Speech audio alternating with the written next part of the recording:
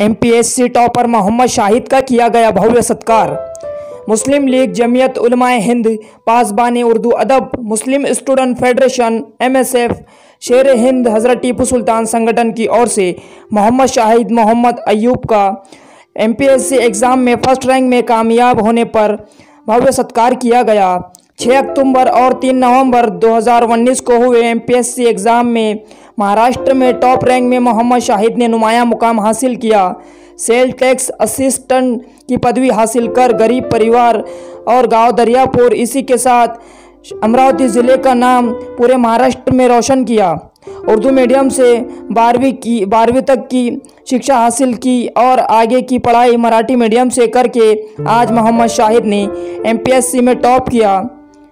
मोहम्मद शाहिद ने हमें बताया, अल्लाह ने आगे चाहा तो मैं कलेक्टर की पदवी हासिल करूँगा।